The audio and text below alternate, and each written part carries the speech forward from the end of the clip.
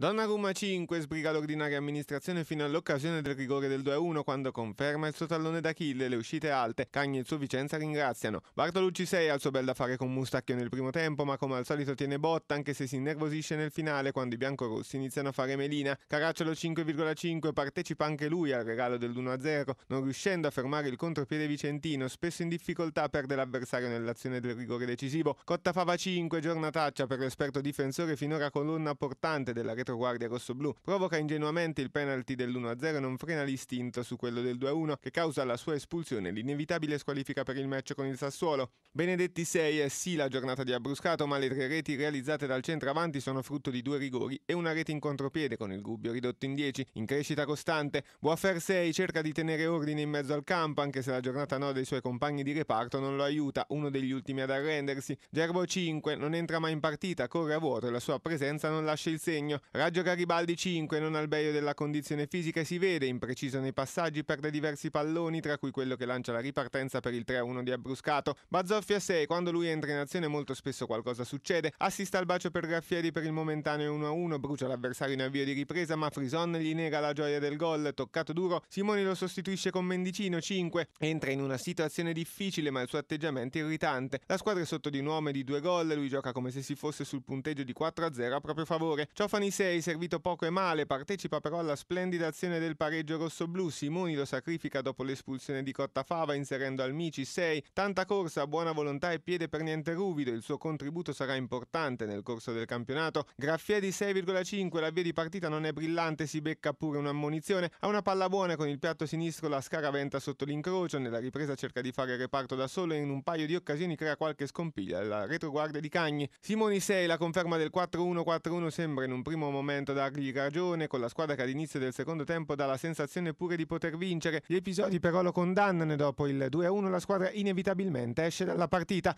Qualche perplessità rimane sull'utilizzo di Gerbo, forse un 4-4-2 con Ruio Almici sulla corsia esterna e Graffieri più vicino a Ciofani sarebbe stato più efficace.